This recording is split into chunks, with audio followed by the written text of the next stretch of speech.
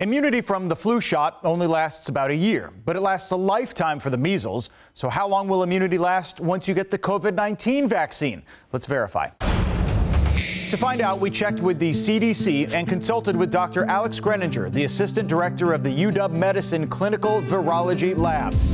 In an email to Sherry, the viewer who contacted us, the CDC gave a clear, if understandably unsatisfying, response.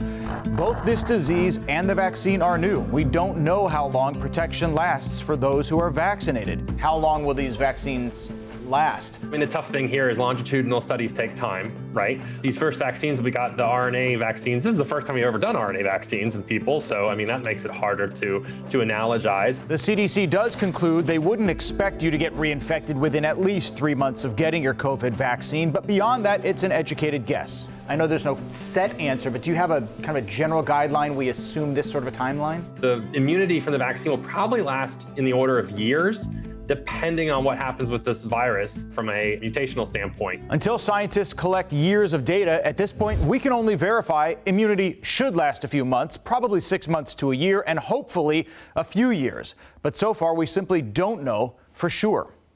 With your Verify, I'm Steve Bunin.